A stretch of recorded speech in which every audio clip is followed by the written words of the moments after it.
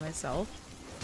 I think I need a day of just doing that, but I'm probably, any like birthday festivities I'm probably gonna do on, or I am gonna do it on Saturday.